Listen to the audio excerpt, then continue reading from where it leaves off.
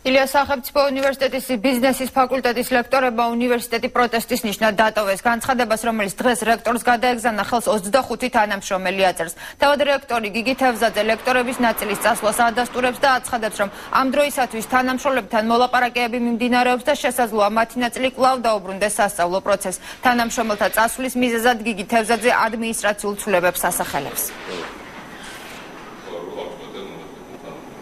ну თვითონ როგორც ამობენ წერილში ну ეს მათი პროტესტი გამოწვეულია იმით რომ ადმინისტრაციაში მოხდა ცვლილება ფაკულტეტის და ეს რა თქმა უნდა მათი უფლებაა რომ დაუშვათ მიიღონ ასეთი გადაწყვეტილება ჩვენ ну გვაქვს პრინციპს შეჭირო დაუშვათ 55 ადამიანი და ყოველას არ აქვს სურვილი და უბრალოდ გაუგებრობა მოხდა და ისინი ესე იგი მათ კარგად ვერ გამოხატეს თავისას რომ ყოველას მაინც ვკითხავთ ისე ვის უნდა მართლა წასვლა არანაირი პრობლემა მაშინ არ არის.